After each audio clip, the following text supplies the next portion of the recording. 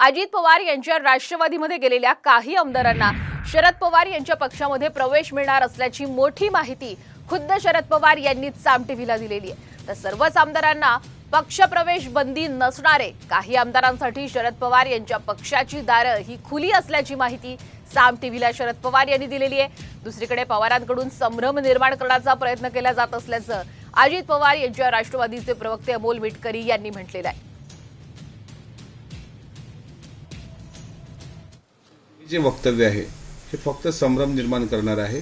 असं कधीही होणार नाही की अधिवेशन पुढं आहे पुरवणी मागण्या मांडल्या जात आहेत आणि नि- निधीची पूर्तता झाल्यावर आम्ही परत साहेबांकडे जाऊ असं कुठल्याही आमदारांनी आमच्याकडून म्हटलेलं नाही.